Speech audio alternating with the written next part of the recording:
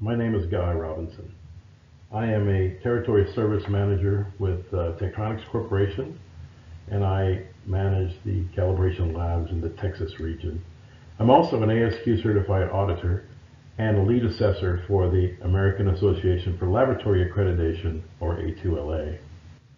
What I'd like to cover are explaining what are calibration levels, go over the types of calibration levels that exist, take a look at the typical standards that we calibrate against in the industry, talk a little bit about which calibration level you should consider to help you make sure that you're meeting your needs, and then at the end, a summary slide of what calibration levels Tektronix itself provides to our customers.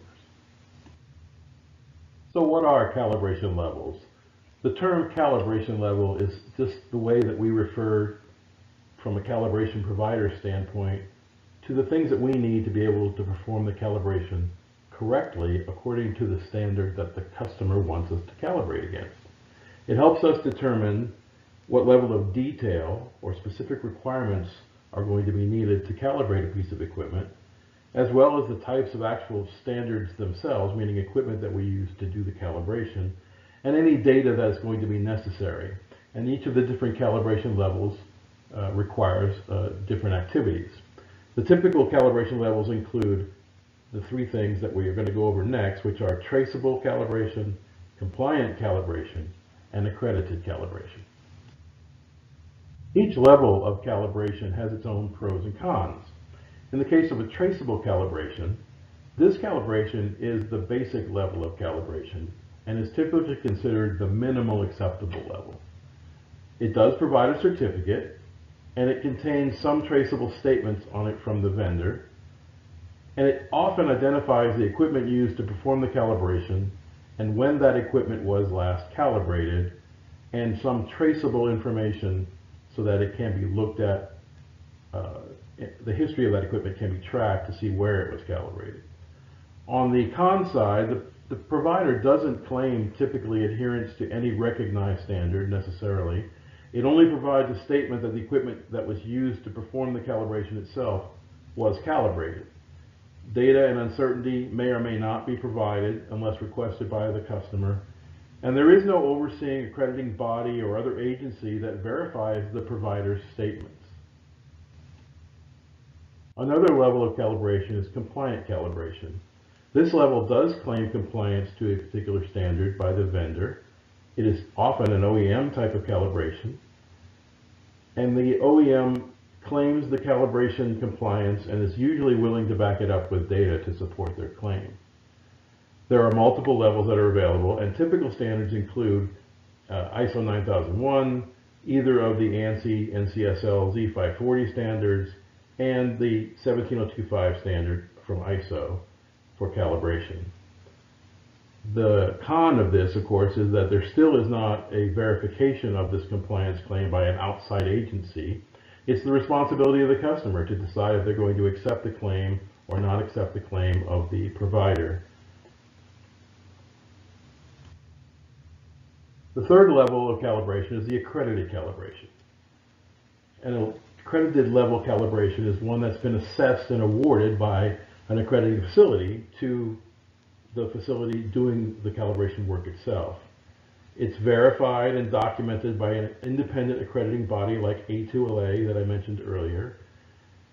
It is overseen by the ISO group in uh, Switzerland and they also go out and inspect these accrediting bodies and oversee them as well to make sure that they're providing proper accreditation protocols.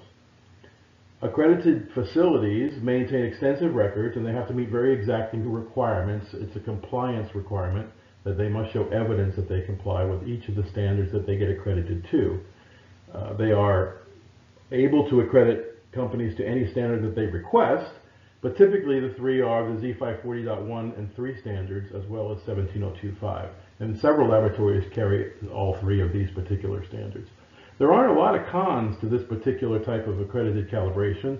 It's the most rigorous level of service, but it does tend to be approximately 30% more expensive due to the cost of achieving and maintaining the accreditation that the facility has to uh, pay for and maintain throughout the year. And it's a, it's a large amount of investing in training and, and documentation and record keeping. Let's take a look at several of the standards that these levels of calibration apply to. One of the most common and one of the broadest is the ISO 9001 Quality Management System standard. This particular standard specifies requirements for a laboratory or a manufacturer to have a quality management system. And there's usually a general calibration program component for each quality management system that a company has.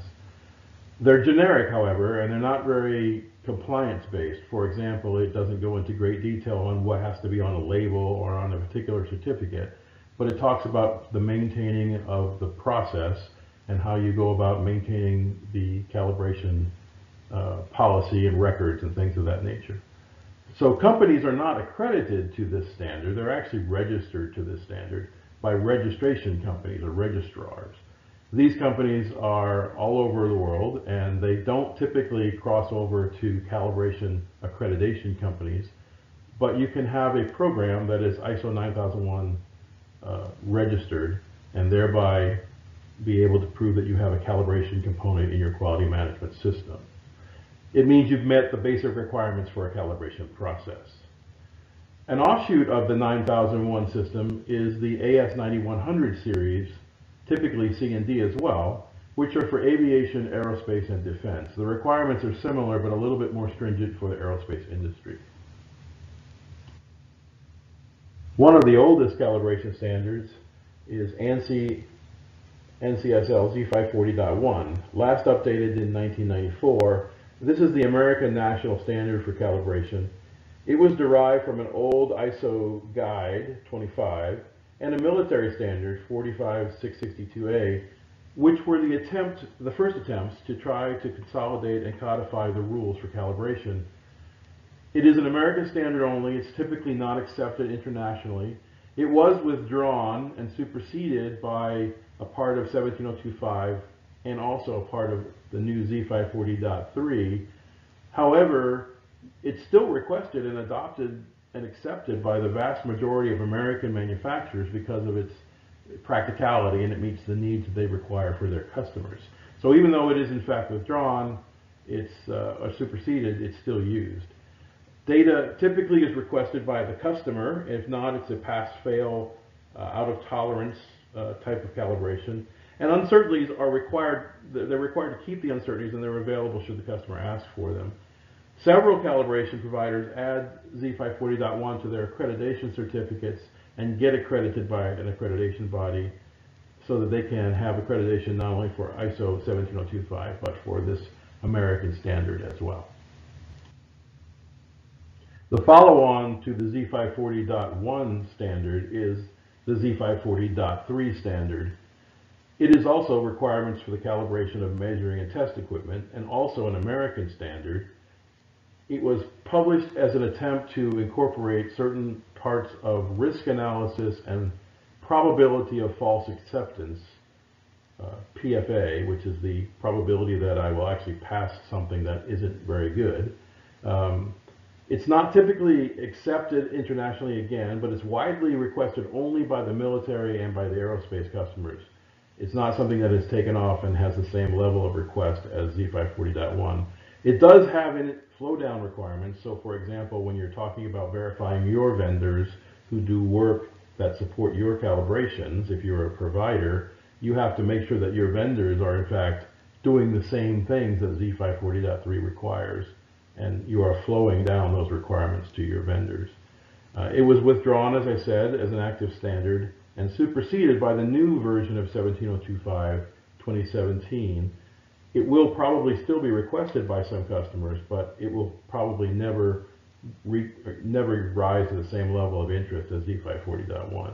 Data and uncertainty are provided with this particular calibration, as well as that 2% probability of false acceptance analysis. The calibration standard that reflects the highest level of rigorous accreditation is the ISO 17025-2017 calibration requirement standard. It specifies specific and general requirements for competence of the people, the impartiality of the process, and consistent operation of the laboratories themselves. It is accepted internationally and contains the requirements of what was Z540.3, allowing that standard to be obsoleted. Data and uncertainty are provided with the calibration, and this is a compliance standard with rigorous requirements for administration and execution of all aspects of a calibration provider's process. All parts of the laboratory are assessed and demonstrations are watched to see if people are performing them correctly, records are looked at, training, interactions between customer and provider. Uh, there's quite a bit of record keeping involved, and this particular standard represents the highest level of calibration. With all the different levels of calibration and the different standards, it can be confusing to decide which calibration level and which standard to choose to get calibrated against. Typically, it falls into one of three categories. There are regulatory requirements. Those would be specific to your industry. For example, if you are required to follow the regulations of the FDA or the Nuclear Regulatory Commission or some other government agency, there are going to be regulatory requirements that may very well tell you what kind of calibration level and what kind of standard you need to calibrate against. It could be that you have contractual requirements these are required by your customers. Or there might just be certain specific industry norms that are common to your particular industry, such as construction or, or uh, any kind of manufacturing that is unique. These kinds of things are required in your actual contracts that you have with your customers and are often negotiated out that way. That helps be able to determine what level of calibration you require as well. And you might also consider sometimes it's just your confidence in the requirements that you need. It's your confidence in the calibration process of the provider. You may feel that getting the absolute uh, highest level of calibration verification and accreditation is necessary, or you may feel that certain aspects of a standard such as Z540.1 are more applicable to your particular situation. The choice is yours, but your provider can work with you to determine which would be best for your application. You may be wondering what levels of calibration does Tektronix provide? Well, I've, I've got a slide here that sort of demonstrates that aspect of it. It shows you the various um, standards that we've actually been talking about across the top. And then it talks about the different parts of those standards, the delivery method, how we do the certificate, whether or not the data is provided, whether or not uncertainties are provided, whether or not you have a logo on the certificate, etc., on the left-hand side. And you'll be able to, to look at that and see what processes are actually completed by Tektronix itself in, these, in each of these major areas. This is available on our website at tek.com, and you can look at it in the uh, calibration area. And this will maybe help you cross-reference the type of standard versus the type of uh, items that you require for your particular application, whether you need to have certain uh, statements on your certificate, whether you need to have data, whether you need to have guard banding done. It's really infinitely customizable to the customer because you can ask for certain specific things and, and we'll be able to incorporate that into a quote for service and sometimes very specific requirements are asked for, and if we're able to deliver them, then of course we certainly will. But this gives you a pretty broad idea of the offerings that Tektronix has to help you meet your calibration needs. So in summary, choosing the correct calibration level for your needs helps ensure that you get the right calibration to meet the needs of your quality management system and for your customers. If you understand the difference between traceable, compliant, and accredited calibrations, this should help you be able to decide which is most appropriate. And understanding the different parts of the typical standards that are used in the calibration process should help you determine which of those standards might be best for your particular application. I hope you enjoyed the presentation. And thank you for your time, and I hope it was helpful.